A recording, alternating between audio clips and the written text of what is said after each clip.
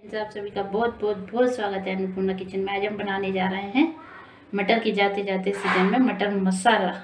मसाला बनाने के लिए एक कटोरी मटर ली हमने। आप कोई सी मटर ले सकते हैं। ताज़ा मटर, फ्रोजन मटर, कोई सी भी। ये आधी कटोरी मलाई ली है। आप इसकी जगह दही भी ले सकते हैं। तीन प्याज हैं, दो टमाटर हैं, छः से सात लहसुन की कली, एक हरी मिर्च और एक इंच अदरक का टुकड़ा है। खड़े मसाले में एक तेज पत्ता, थोड़ी सी दालचीनी, एक स्टार फूल दो लौंग, बड़ी इलायची और एक चम्मच जीरा है। कुछ पिसे मसाले लगेंगे, बेसिक मसाले जो हम रेसिपी में आगे आपको बताते चलेंगे। ये हमने प्याज, टमाटर, लहसुन की कली, अदरक और सभी को रफली चॉप कर लिया है। एक पैन में हमने ये ऑयल ले लिया है, दो से तीन चम्मच। अब ऑयल को गर्म होने देंगे सबसे पहले। ऑयल गर्म हो चुका है, इसमें सबसे पहले जीरा और खड़े मसाले जितने भी हमने लिए थे, ये तेज पत्ता दालचीनी लौंग, बड़ी इलायची खोल के डालें थोड़ी सी स्टार फ़ूड। इन सभी को अच्छे से पहले भून देंगे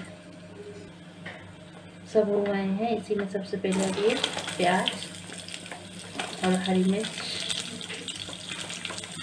और लहसुन की कड़ियाँ अदरक भी डाल दिया है, इनको अच्छे से पहले दो से तीन मिनट छोटे कर लेंगे।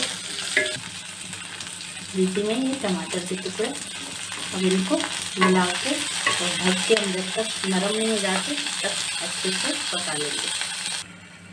चेक कर लेते हैं। सब कुछ अच्छे से हो गया है। अब गैस बंद करके इसको ठंडा होने देंगे। महीन पीस लेंगे, खड़े मसाले हटा देंगे ऊपर से। जब तक हम मटर उबालने रख देते हैं एक तरफ़ तो मटर के दाने नरम हो जाएँगे।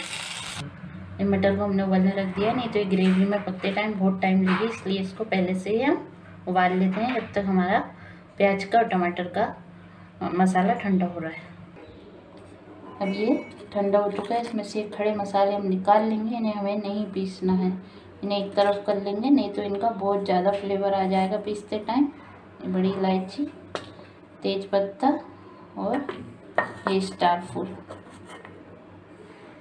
अब इन सभी को हम थोड़ा सा पानी डालकर पीस लेंगे। ये प्यूरी बन चुकी है हमारी प्याज और टमाटर की। अब हम जो हमने मलाई ली है, उसी में हम मसाले का पेस्ट बना लेंगे। ये कश्मीरी लाल मिर्च है, सिर्फ़ कलर वाले।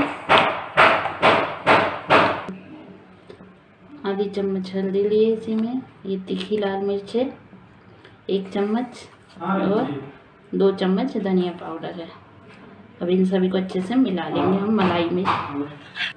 तो उसी पैन में हमने ऑयल थोड़ा सा डाल के गर्म कर लिया है। सबसे पहले ही डालेंगे एक चुटकी ही और जो हमने मलाई के साथ मसाला बनाया है, वो डाल देंगे। धीरे से डालें। इसी कटोरी को धो के थोड़ा सा पानी डाल देंगे। मिला लेंगे अच्छे से और दो से तीन मिनट इसको ऐसे ही मसाले को भूनने देंगे। अब इसी में ये प्याज और टमाटर वाली प्यूरी डाल देंगे। उसी जार को धो के थोड़ा सा पानी डाल देंगे। जिस जार में हमने इसको पीसा था।